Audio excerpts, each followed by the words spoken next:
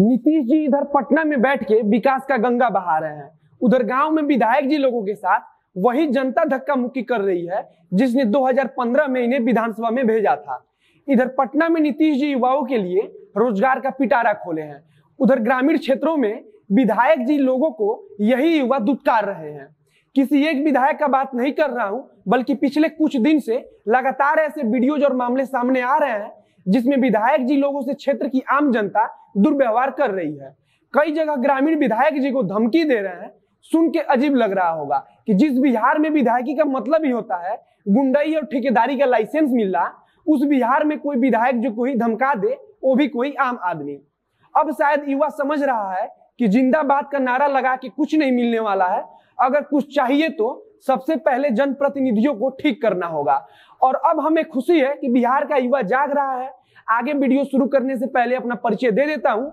नमस्कार, मेरा नाम है मोहित कुमार सिंह और आप देख रहे हैं जनता जंक्शन। सबसे पहले बात कर लेते हैं भाजपा के संजय सारवगी जी की। संजय सारवगी साहब दरभंगा विधानसभा सीट से भाजपा के विधायक हैं। खबर है कि विधायक जी दरभंगा में किसी सड़क शिलान्यास के कार्यक्रम में गए थे। वहाँ कुछ लोगों ने यह बोलकर विरोध करना शुरू कर दिया कि विधायक जी केवल चुनाव में वोट के लिए नौटंकी कर रहे हैं। वहाँ मतदाताओं और विधायक जी के समर्थकों के बीच धक्का मुक्की होने लगी, जिसके बाद विधायक जी समय की नजाकत समझकर बिना भाषण दिए ही वहाँ से निकल गए। अब आते हैं दूसरे मामले पर। दूसरा मामला महनार के विधायक उमेश कुशवाहा जी से जुड़ा हुआ है। उमेश जी जदयू की टिकट पर विधायक है। वह पहली बार विधायक बने और पहली बार में ही क्षेत्र की जनता उनसे उब चुकी है। विधायक जी क्षेत्र भ्रमण पर थे कि अचानक से भीड़ ने उनके साथ दुर्व्यवहार करना शुरू कर दिया। वह भीड़ के बीच से समर्थकों के मदद से सुरक्षित बाहर निकल पाए। कहा जा रहा है कि भीड़ अब धीरे धीरे हिंसक हो रही थी, लेकिन विधायक जी उससे पहले ही वहाँ से निकल गए। अब आते हैं सकरा विधायक लाल बाबू राम पर। ऐसा नहीं है कि जनता का गुस्सा सिर्फ़ सत्ताधारी पक्ष के विधायकों पर ही है, बल्कि लोगों का गुस्सा सारे जनप्रतिनिधियों पर बराबर है। लाल बाबू राम राजद के टिकट पर विधायक चुने गए हैं। कहा जा रहा है कि विधायक जी बाढ़ ग्रस्त इलाके के दौरे पर गए थे, जहाँ भीड़ ने उन्हें धमकी देना शुरू कर दिया।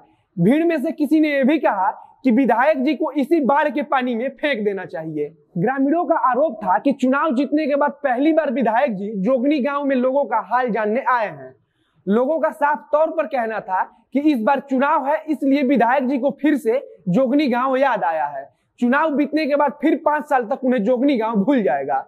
अब अंत में बात कर लेते हैं अरवल ज़िले के कुर्था विधानसभा क्षेत्र के विधायक सत्यदेव सिंह की। कुछ दिन पहले ही विधायक जी का एक वीडियो वायरल हुआ था। जनता जंक्शन पर मैंने खुद उस वीडियो को दिखाया था। वीडियो में विधायक जी को फजीहत के साथ ही एक युवा पब्लिक सर्वेंट का मतलब बता रहा है। कहने का मतलब है कि पार्टी चाहे जो भी हो, हर जगह से ऐसी खबरें आ रही हैं। अब जनप्रतिनिधियों को भी समझना होगा कि समय बदल रहा है और उसी के साथ युवा भी बदल रहा है। अब युवा चुनाव में केवल नारा नहीं लगा रहा है, बल्कि अपने जनप्रतिनिधियों से सवाल भी पूछ रहा है। अगर ऐसा ही होता रहा तो वो दिन दूर नहीं, जब बिहार में विधायक जी लोगों को बिना काम किए वोट मांगने में भी डर लगेगा। और ऐसा होना भी चाहिए कि अगर जनप्रतिनिधि पाँच साल काम ना करे तो अगली बार उसे वोट मांगने की हिम्मत ही ना करे। इस वीडियो को यहीं पर समाप्त करते हैं। वीडियो को आप लोग शेयर ज़रूर कीजिएगा। अगर फेसबुक पर देख रहे हैं तो पेज को लाइक कीजिए। अगर यूट्यूब पर देख रहे हैं तो चैनल को सब्सक्राइब कीजिए। मिलते हैं फिर बहुत जल्द अगले वीडियो में। तब तक के लिए धन्यवाद।